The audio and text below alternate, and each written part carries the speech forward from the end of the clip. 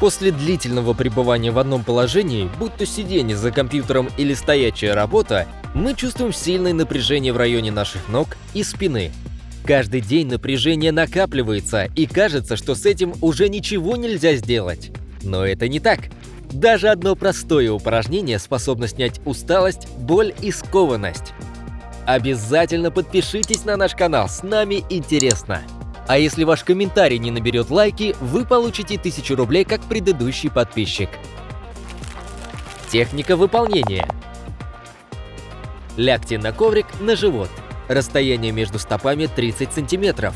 Ладони на уровне груди, локти рядом с туловищем. Ладони направлены вперед.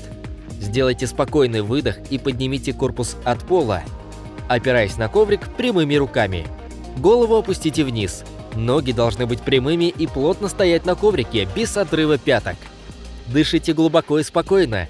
Находиться в таком положении нужно около минуты. А напишите в комментариях, какая у вас работа, малоподвижная или вы все время на ногах. Посмотрим, кого сколько. Как это работает? Особенно полезно это упражнение будет людям с повышенным давлением.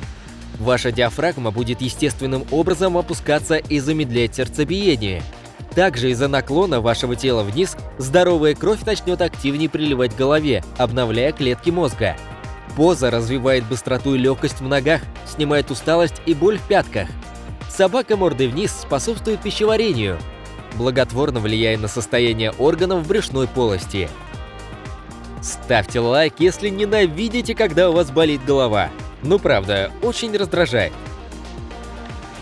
Важно, в самом начале у вас может не получиться выполнять упражнения на полностью прямых ногах.